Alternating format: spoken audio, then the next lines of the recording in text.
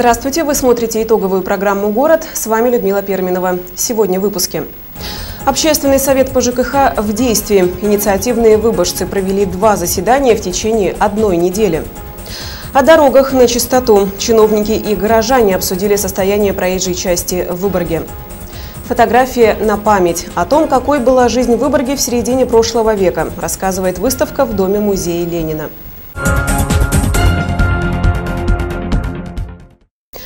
Каким будет 2016 -й? Об этом депутатскому корпусу Выборгского района рассказал глава администрации Геннадий Орлов. Он доложил о планах развития поселения, отметив, что основной акцент будет сделан на обеспечении территории социальными, коммунальными и инженерными объектами. В ходе совещания парламентариям был представлен новый начальник районного управления МВД Эдвардас Вашкис. Наталья Березовская продолжит. Подробно отчитавшись на недавнем расширенном собрании о проделанной в минувшем году работе, встречи с парламентариями глава администрации Выборгского района начал с планов на 2016. Он подчеркнул, что местная власть намерена выполнить большой объем работ по обеспечению территории на местах коммунальными и инженерными объектами, необходимыми для дальнейшего устойчивого развития. Подробно остановившись на планах по каждому поселению, Геннадий Орлов объяснил, почему избрана такая тактика. Хочу сказать, что акцент мы сделали на 2016 году, это косы и восы. Ни для кого не секрет, что, да, наверное, в каждом поселении они, как говорится, оставляют желать лучше. Поэтому мы готовим проекты и по возможности э, будем добиваться того, чтобы войти э, в областную программу под названием «Чистая вода». Вы слышали по ней. В бюджетах поселений в рамках муниципальных программ предусмотрены средства не только на водоочистные сооружения, строительство трасс теплоснабжения, но и на газификацию, ремонт дорог, уличного освещения, пешеходных дорожек, строительство спортивных объектов. Кроме того, в рамках реализации федеральных и региональных программ продолжится переселение граждан из аварийного фонда. Из бюджетов разных уровней потребуется 174 миллиона 657,8 тысяч рублей. Это э, мы в 2016 году должны, согласно этой программе, которая заканчивается в 2017 году, э, переселить из аварийных э, домов в более благоустроенные, построенные, а где-то на вторичном рынке, это Первомайка и Советский, э, мы должны переселить наших граждан. По федеральным и региональным программам будет также вести строительство автомобильных дорог, путепроводов, социальных и спортивных объектов. К примеру, современного футбольного поля в поселке Рощина. К проекту 2018 чемпионату мира в Рощино будет строиться и э, прошли все уже предпроектные, проектные заключения экспертизы, строительства э, футбольного поля в Рощино для одной из команд участников чемпионата мира. Также Выборгский район примет участие в программе «Газпрома» по возведению спортивных сооружений в ряде населенных пунктов. В ходе заседания депутаты рассмотрели и проект изменений в местный бюджет. По безвозмездным поступлениям доходы бюджета увеличились в общей сумме почти на 80 миллионов рублей. Поступившие деньги планируется направить на укрепление материально-технической базы общего образования, обеспечение равной доступности услуг общественного транспорта по линии соцзащиты, софинансирование финансирование строительства универсального спортивного зала Высоцкой школы. В ходе заседания депутаты также утвердили положение о стратегическом планировании в муниципальном образовании Выборгский район. А затем парламентариям был представлен новый начальник управления МВД по Выборгскому району, полковник внутренней службы Эдвард Свашкис который доложил об итогах оперативно-служебной деятельности за 2015 год и планах по выравниванию криминальной обстановки в Выборгском районе. На данный момент оценка у нас очень плохая. И в глазах руководства главка Выборгский район, к сожалению, очень сильно упал. По итогам 12 месяцев зарегистрировано 2494 преступления. Это плюс 376 по сравнению с прошлым годом. Идет рост преступности. Раскрыто всего у нас 1024. При этом мы раскрыли меньше, чем 15, э, раньше, чем в 2014 году. И раскрываемость составила 45,1%. Это минус 6% по сравнению с прошлым годом. Самая главная проблема в управлении у нас это, конечно, кадровая составляющая. 470 сотрудников у нас по штату, не комплект, порядка 10% сейчас, около 40 человек не хватает Самая главная проблема, что не хватает на данный момент неукомплектованных штат руководителей. Отсутствует 8 руководителей высшего звена. Эдвард Эсвашкис попросил у депутатов помощи в подборе честных, молодых, здоровых кадров для службы в полиции. Что касается преступлений, совершаемых в Выборгском районе, основную их часть сегодня составляют кражи и угоны автотранспорта, которые, по словам Вашкиса, являются самой большой проблемой. Борьбу с угонами новый начальник полиции намерен вести не только на земле, но и в воздухе. Это очень большая помощь оказывается. Это летательные аппараты, которые, вертолеты, которые в главке есть, будем делать облет их, будем делать э, беспилотные летательные аппараты, которые будут летать, смотреть, что происходит у нас здесь. И таким образом мы будем профилактировать совершение краж транспортных средств, обнаруживать различные отстойники и так далее. Это будет на постоянной основе происходить. Это вот не только в военных целях применяется, но и в нашей системе это тоже будет активно сейчас применяться. Завершая доклад, Эдвард Свашкис выразил уверенность в том, что совместными усилиями удастся навести порядок в районе и попросил содействия в борьбе с коррупцией и противоправными действиями в рядах полиции. Наталья Березовская, Андрей Неробов, медиагруппа «Наш город». Об итогах за 2015 год Геннадий Орлов также отчитался перед Советом депутатов города Выборга.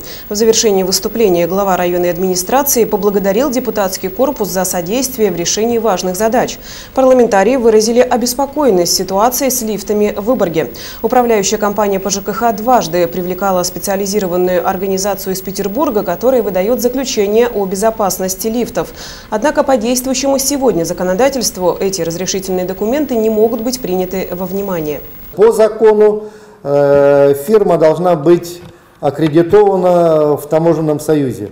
Живых таких фирм не существует.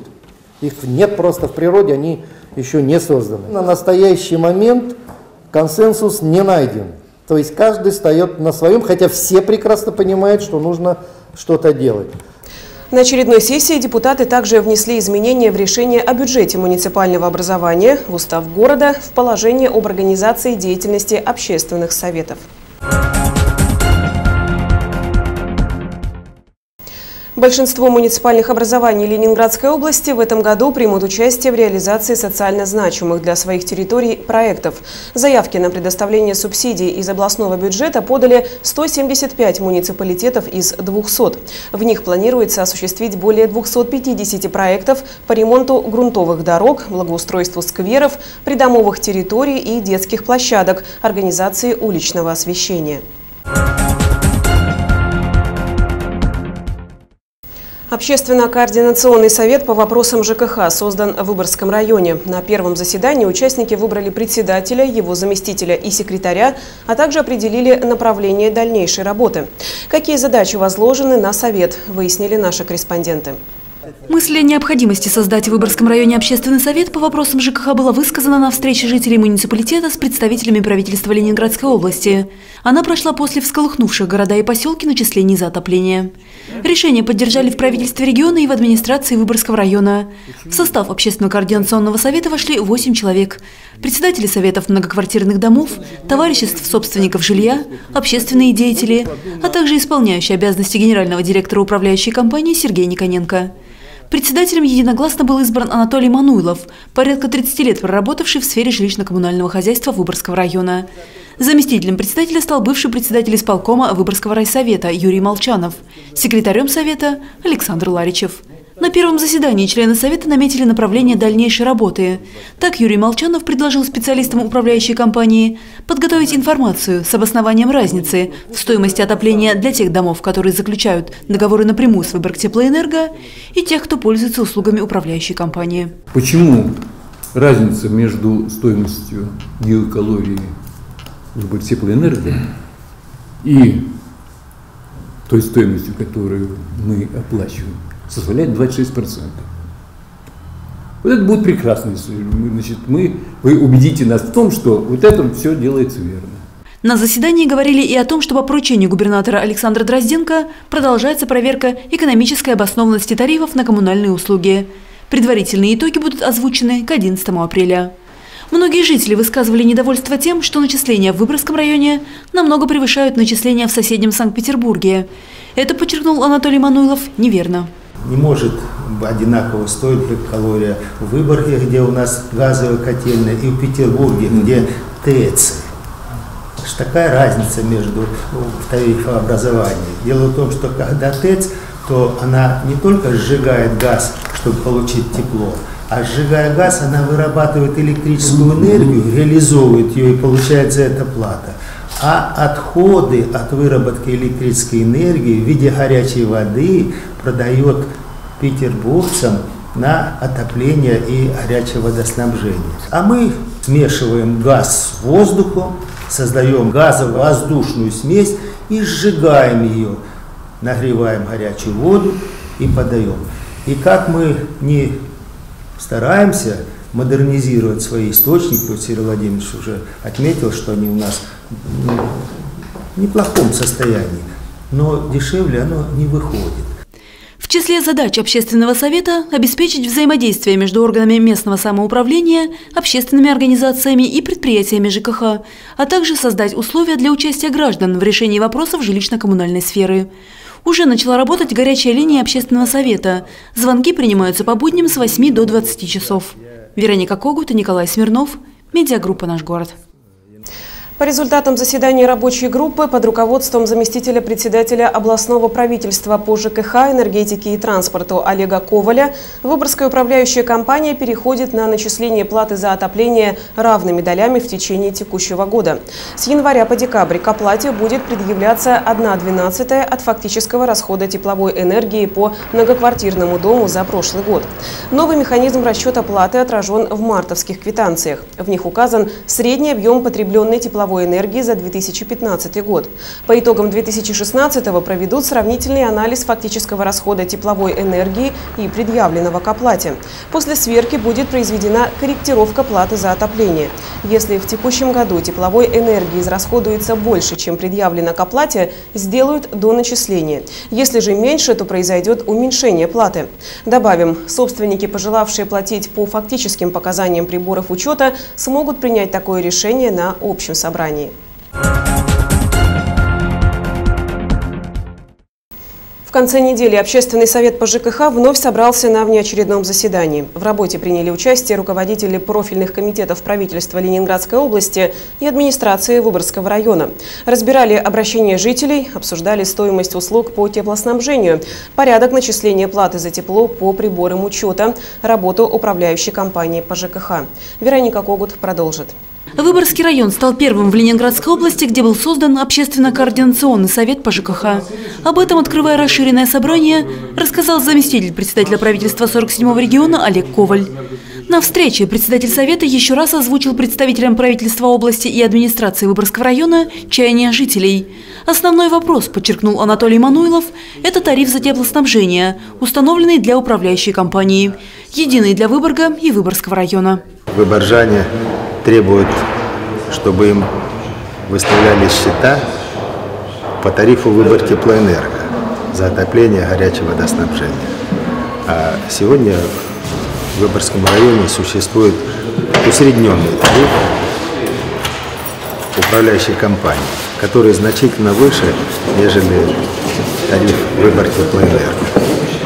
И это главный камень преткновения. Ответов пока никаких нет. Но вот честно скажу, что правительство повернуто лицом к нашей проблеме и готовит материалы. Еще один животрепещущий вопрос – когда включат лифты? В конце февраля по решению городского суда, куда ранее обратилась прокуратура, в городе были остановлены порядка 40 подъемников, срок эксплуатации которых превысил 25 лет. Они не работают по сей день. Областные и муниципальные власти рассматривают несколько вариантов решения проблемы. Первый вариант – это самый, что ни на есть, идеальнейший. Если мы договариваемся именно в законодательной базе, а законодательная база заключается в том, что та организация, организация, которая выдала заключение о продлении на, на месяц, на год, на три года каждого из этих лифтов, с, эти, с этим заключением, с этой лицензией лицензированной компании э, прокуратура соглашается.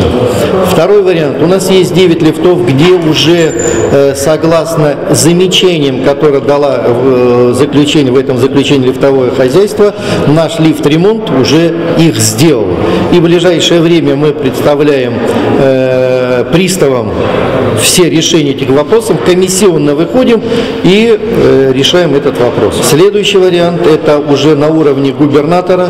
Губернатор проводит э, расширенное заседание с э, прокуратурой, где будет принято от, или первый, как я вариант сказал, или второй вариант решения этого вопроса. Деятельность управляющей компании по ЖКХ, приведение в порядок внутридомовых сетей и тепловых пунктов в многоквартирных домах, работа советов домов. Эти и многие другие вопросы обсуждали участники встречи. Как подчеркнул представитель комитета по топливно-энергетическому комплексу Ленинградской области, уже собрано достаточно информации, чтобы от теории наконец переходить к практическим действиям. В частности, к формированию адресных перечней для проведения первоочередных работ. Наша задача действительно все это работу перевести в практическое русло, чтобы э, каждый житель города Выборга почувствовал действительно в квитанциях, и не только в квитанциях, но и проживая в своей квартире, почувствовал реальное улучшение именно качества предоставления услуг теплоснабжения. Уже во вторник рабочая группа по проверке обоснованности платежей за тепло планирует представить свои выводы губернатору региона. Что касается работы общественного совета по ЖКХ, все его заседания будут открытыми. Следующее намечено на 1 апреля. Вероника Когут, Андрей Неробов, медиагруппа «Наш город». Во второй половине дня представители правительства Ленинградской области и руководители районной администрации встретились с жителями Выборга, от которых поступили жалобы на жилищно-коммунальное хозяйство. Люди вновь задавали вопросы. На часть из них получали ответы сразу. Остальные заявления фиксировались специалистами. На встрече председатель комитета по топливно-энергетическому комплексу 47-го региона Андрей Гаврилов озвучил первые выводы рабочей группы, занимающейся всесторонним исследованием ситуации с резко возросшими большими счетами за услуги ЖКХ. Специалисты проверили дома, где коэффициент потребления тепловой энергии в январе по сравнению с декабрем превысил допустимые нормы, хотя при этом в квартирах было довольно холодно. Мы проводили э, тепловизионное обследование всех этих домов, которые выявили следующее. Э, состояние ваших панельных домов, э, конечно, оно очень удручающее. 25% тепловой энергии у нас уходит через конструктивные элементы. Это расчетные данные, которые выявлены по результатам тепловизионного обследования. Всего было обследовано порядка 60 домов. Значит, это первый вывод, который мы сделали, э, работая здесь на вашей территории. Помимо того, что еще проверяли счетчики. Второй вывод – это то, что действительно по большинству домов у нас зафиксированы случаи перетопа в одном случае э, в осенний, весенний период. В зимний период у нас действительно зафиксированный существенный недостаток тепловой энергии. На вопрос, нужно ли вообще устанавливать приборы учета там, где не отлажены внутридомовые системы, Андрей Гаврилов ответил однозначно «да». Экономия по потреблению тепла фиксируется по всем объектам, где уже стоят счетчики и составляет от 5 до 60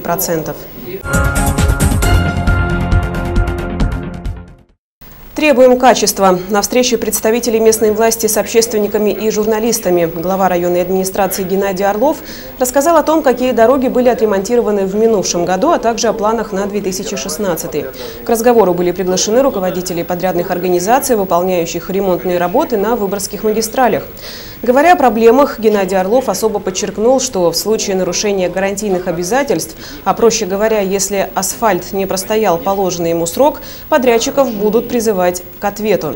Глава администрации четко обозначил сроки предоставления организациями плана работ по устранению нарушений. 10 апреля последний день, э, когда вы дадите график решения всех своих вот этих наших претензионных работ. То есть начало и окончание.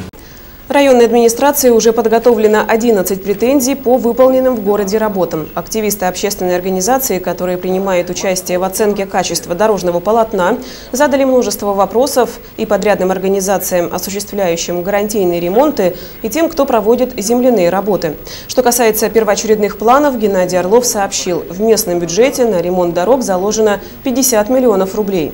Этих денег недостаточно для восстановления проблемных участков в полном объеме. Поэтому администрации направлено письмо на имя первого заместителя председателя областного правительства Романа Маркова с просьбой выделить дополнительные средства. В первую очередь будут приведены в порядок участки улиц Кузнечной, Куйбышева, 2 Южной, Кутузова, Травяной. Рассматривается также вопрос ремонта Московского проспекта и Крепостной улицы. На остальных дорогах будет проводиться поддерживающий и ямочный ремонт. Заслуги Ленинградской области по сохранению природного наследия отмечены Советом Федерации. 47-й регион награжден благодарственным знаком за активное участие в экологическом и патриотическом воспитании. В частности, за поддержку и участие в мероприятиях Всероссийской программы «Деревья. Памятники живой природы». В ее рамках сформирован реестр уникальных старовозрастных деревьев, 9 из которых растет на территории Ленинградской области.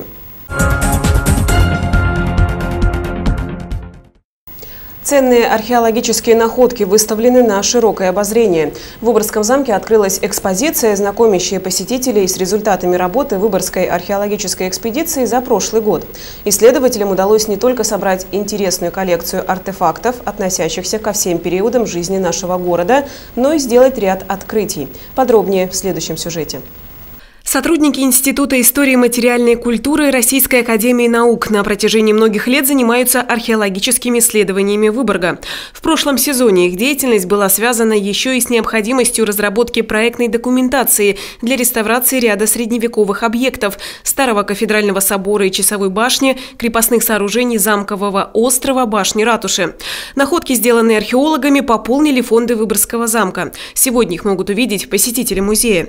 Среди экспонатов множество множество предметов, свидетельствующих о присутствии в нашем городе военных в разное время. Это пули, пуговицы от солдатского кафтана, фрагменты чугунной бомбы и каменного ядра, солдатская бритва, детали арбалета и находка, которую археологи считают уникальной – железная пулелейка 17 века. Она предназначалась для выплавки свинцовых пуль, рассказывает Александр Смирнов, заместитель директора Выборгского музея-заповедника. То есть эти чипчики зажимались, тут была дырочка, в которую наливали расплавленный свинец и придавали форму пульки. Потом доставали, когда она охлаждается, уже готовой. Кстати, пули в 17-19 веках были хвостатыми. От ненужного элемента их избавляли, когда запускали военный оборот. Это следы заливки. Потом их обламывали, срезали и уже использовали для стрельбы. А вот только после выплавки они выглядели вот такими блестящими и имели такой хвостик. Наиболее древним предметом, найденным прошлым летом у основания башни Святого Олафа, является цепидержатель – фрагмент украшения женского финно-угорского наряда, отличающегося обилием бронзовых украшений. И от них шли цепочки, на которых висели шумящие подвески, а, в виде разных животных, когда женщина, ну это такой парадный наряд, когда женщина шла, все это звенело, и а, цепочки сходились на груди на вот таком приспособлении, которое называется цеподержатель. Такие вещи датируются 12-13 веками, то есть, возможно, женщина, которая носила этот предмет, на своей одежде э, ходила тут еще до основания Выборгского замка. Подобные находки дают основание полагать, что на замковом острове еще до строительства башни Святого Олафа находилось укрепленное карельское поселение. На выставке широко представлены и монеты, самые ранние из которых датируются концом 13 века. Поскольку у туристов до сих пор считается хорошим знаком бросить монетку со смотровой площадки башни Олафа, археологи в будущем по-прежнему будут собирать на территории крепости солидный урожай. А в этой выставочной витрине представлены результаты археологических раскопок на территории Старого кафедрального собора. В основном это архитектурные элементы, позволяющие пролить свет на различные этапы жизни храма, который много раз перестраивался, менял свою конфессиональную принадлежность. Среди них фрагменты надгробных плит. Весь пол собора, средневекового собора, западноевропейского и нашего Выборгского кафедрального собора а, представлял собой а, крышки склепов – то есть под полом собора хоронили знатных горожан, священнослужителей и так далее. А, и, да, собственно, люди ходя по полу собора, ходили по надгробным плитам, которые могли быть либо э, из известняка или бутового камня, как представленные на витринах, либо выложенные из кирпича. В экспозиции размещены также предметы, рассказывающие о быте, промыслах первых жителей Выборга. К примеру, рыболовные снасти и орудия, с помощью которого охотились на тюленя или нерпу. Некоторые экспонаты даже можно потрогать руками, а этот уголок, напоминающий песочницу, предназначен для детей. Играя в нем, ребята могут почувствовать себя археологами. Людмила Перминова, Александр Сорокин, медиагруппа «Наш город». С Днем работника культуры специалистов этой сферы поздравляет губернатор Ленинградской области Александр Дрозденко. Профессиональный праздник библиотекари, сотрудники клубов, домов и дворцов культуры, музейные работники отмечают 25 марта. Вкладывая душу и сердце в свое дело, они несут в мир дух творчества, познания, бережно хранят и приумножают историческое наследие. Успешной работы, здоровья, мира, добра и благополучия.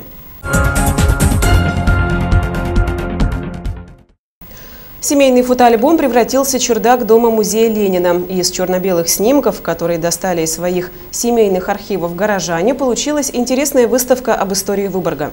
Она так и называется «Фотография на память». На ее открытии побывала наша съемочная группа. Выборг середины прошлого века буквально оживает на фотографиях, сделанных первыми жителями послевоенного города. Авторы снимков, а также их родные собрались в доме музея Ленина, чтобы поговорить о том времени. Абсолютно каждому Выборг 50-60-х годов запомнился чистотой улиц, обилием зелени, парков, памятников, фонтанов и гипсовых скульптур, а также своей неповторимой атмосферой. Можно было встретить и моряков с кортиками, и летчиков, и связистов, и артиллеристов, и пограничников. И это было так красиво, это было так много военных, так много красивых, молодых, сильных мужчин в Выборге, что, конечно, мы всегда чувствовали себя в безопасности. Мы были еще маленькими девчонками и бегали по парку, выбирали себе женихов. Вместе с тем, после войны в городе было много разрушенных зданий, которые становились местом для игр ребятни таких, например, как э, здание Уна Ульберга, где сейчас художественная школа находится, библиотека была разрушена, дворец 50-летия были. И мы очень любили на этих развалинах играть, прыгать. Это были самые интересные и замечательные моменты. Наиболее интересная, конечно, фотография – это вот дыму самолета. Когда мы ходили на пляж, мы все время проходили мимо этого самолетика, потому что он находился где-то вот э, в районе, где электро здание, электроинструмент, бывшее здание, напротив был сквер. Особый колорит городу придавали трамваи. Сергей Соколов, который живет в Выборге уже 70 лет, фотографировал их из окна своего дома, стоящего рядом с нынешним Сержантским сквером. Он приходил сюда, вот как раз где железнодорожная больница, на этом месте делал кольцо. И шел по Леншоссе к вокзалу и на крепостную. На протяжении 60 лет выборжанкой является Ия Малкова. Женщина вспомнила, как много времени молодежь проводила гуляя по улицам. Одним из главных развлечений были танцы. Мы любили ходить в Монрепо, конечно потому что там тоже было очень хорошо, там красиво, там и танцы были. На ковше танцы, танцы были там, вот у нас в Выборге здесь. Тоже ходили, э, тоже любимое наше место было. Любимое место, конечно, было и Дом культуры, потому что там тоже были танцы, поэтому молодые были, ходили, э, так сказать, с ребятами знакомились. Подружек было много. Ну, хорошо было, весело. В 1959 году в Выборге родилась Ольга Умолина. Для выставки она передала музею множество фотографий из семейного архива. Ее родители, как и все послевоенные переселенцы, с удовольствием запечатлевали самые яркие моменты их жизни. Мама жила э, в общежитии, которое располагалось на Лужской, ныне Ладанова улица, где Эрмитаж. Там было общежитие судостроительного завода. Э, ну, все вы знаете эту лестницу знаменитую. Когда папа с ней познакомился, он ее поднимал на руках по этой лестнице. У нас такая вот ну, семейная такая история красивая. Отдельное место на выставке занимает уголок фотографа, где представлены фотоаппараты того времени. Узнать историю каждой вещи, каждого снимка можно, посетив Дом-музей Ленина. Специальная программа об истории памятников и городской скульптуры подготовлена для детей. И это будет интерактивная программа с викторинами, играми. Поэтому приглашаем школьников, безусловно, будет интересно. Сотрудники музея надеются, что выставка будет пополняться новыми фотографиями из семейных альбомов выборцев. Людмила Перминова, Александр Сорокин, медиагруппа «Наш город». Чем заняться в выходные дни? 26 марта в библиотеке Аалта пройдет День Дании. В 15 часов в лекционном зале состоится открытие выставки, посвященной философу и писателю Сёрину Кьеркегору. Далее последует презентация датско-российской антологии рассказа «Свобода и судьба». На 16.30 запланирован показ документального фильма «Дания королевы». В этот же день в 16 часов в читальном зале библиотеки пройдет мастер-класс по вязанию. С собой нужно взять необходимые материалы – вязальный крючок, спицы и пряжу. Гильдия экскурсоводов в выходные дни традиционно приглашает горожан и гостей на прогулки. 26 марта в 3 часа дня от сквера на бульваре Кутузова у гимназии номер 11 стартует экскурсия улицы и кварталы Старого города. В воскресенье в 13.00 от Петровской площади начнется экскурсия «Три крепости». Thank you. Мечтаете о домашнем любимце? Тогда поспешите посетить Дом культуры 27 марта. Там пройдет выставка котов и кошек, которые ищут любящих хозяев. С 12 до 20 часов будут работать зона кототерапии, детская площадка с аниматорами, благотворительная ярмарка рукодельниц. Все желающие смогут принять участие в конкурсах детского рисунка «Мой питомец» и семейной поделки «Кошкин дом» и получить призы. А главное – познакомиться с подопечными Выборгского приюта 20 25 котами и кошками самых разных окрасов и характеров, которым так нужна новая семья. Чтобы забрать животное домой, необходимо иметь с собой переноску и паспорт для подписания договора о передаче кота или кошки. Усатые и полосатые ждут вас в воскресенье в Доме культуры. Вход свободный.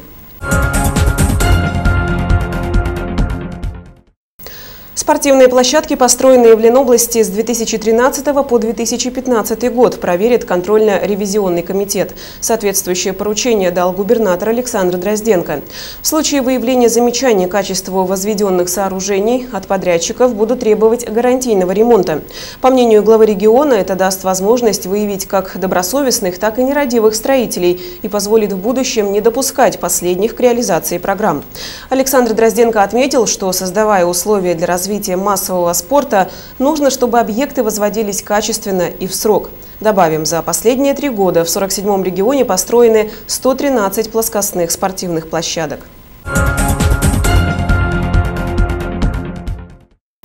Шесть лет назад Выборгу было присвоено почетное звание «Город воинской славы». 25 марта 2010 года соответствующий указ подписал президент России Дмитрий Медведев.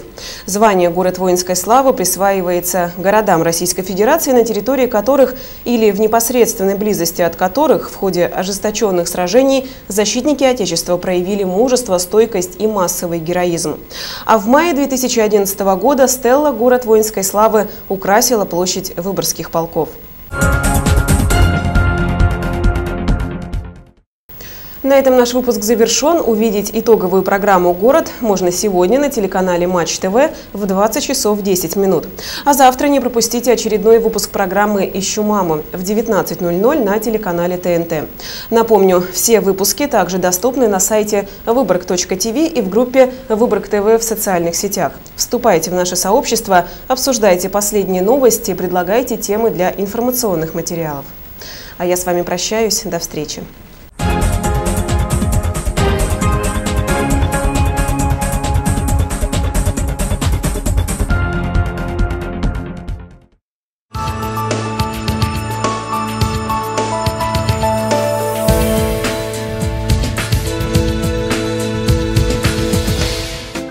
Субботу в Выборге будет облачно, осадков не ожидается. Температура воздуха в течение дня плюс 1-2. Ветер южный 2-3 метра в секунду.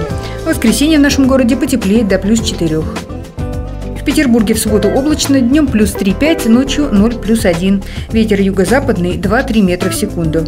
В воскресенье столбики термометров поднимутся до отметки плюс 7. В Лапейнранте небольшой дождь, днем плюс 1,3, ночью около нуля. Ветер южный 2-3 метра в секунду. Воскресенье от 2 до 4 градусов тепла без осадков. В Хельсинки в субботу возможен снег с дождем, температура воздуха плюс 1,3. Ветер юго-западный 2-3 метра в секунду. Воскресенье в столице Финляндии будет сухо, около плюс 3.